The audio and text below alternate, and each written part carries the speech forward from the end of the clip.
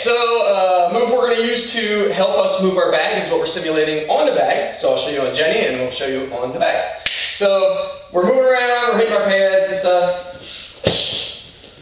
She's going to throw a hook. I'm coming in. Uh, my arm is just coming out, catching. I'm going to swing behind her and I'm going to secure her hips. Sit back, we can start grappling from there.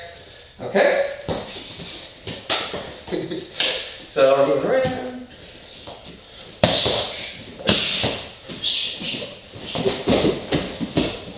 Okay? So one more time, super slow motion.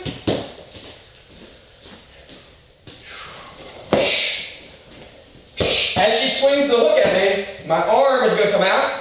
So I catch, and then I basically swing behind her. I attach my hips, and I'm gonna hold on her hips, hold them to me, and fall back. And if I wanna grapple with her, I swing that leg over so I can secure the mount.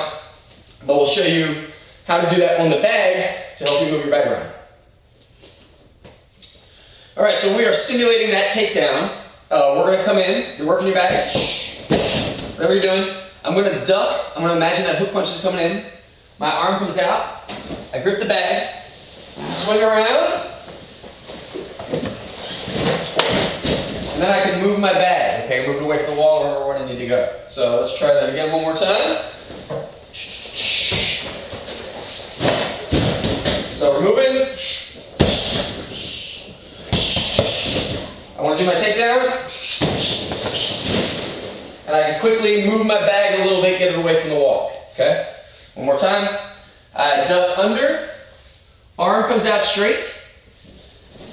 I come in where I would have grabbed the hips. Swing around. And I can aim the bag. You can imagine that foot too if you'd like. And move your bag, reposition on the floor so you can keep going.